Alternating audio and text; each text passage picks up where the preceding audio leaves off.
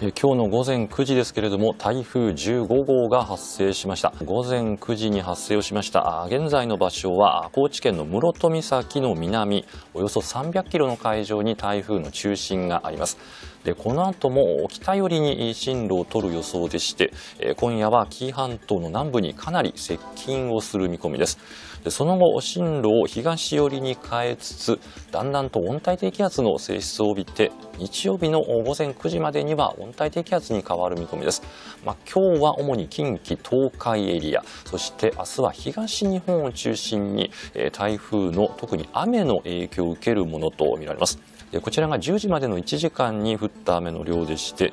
特にこの紀伊半島の南東部、こちらで1時間あたり15ミリ前後の降りとなっております。こちらが10時までの24時間に降ったトータル雨量は和歌山県の新宮市で188.5ミリ、また三重県の尾鷲市で187.5ミリに達しております。雨雲の動きでご覧いただきますと、今日は引き続き紀伊半島から東海地方にかけて激しい雨が降る恐れがあります。1時間あたり30ミリ以上の雨が降ってさらに雨量が増していくことで土砂災害など起きる恐れがありますので雨の降り方警戒をしてください。また今夜遅く以降は今度関東甲信北陸などでも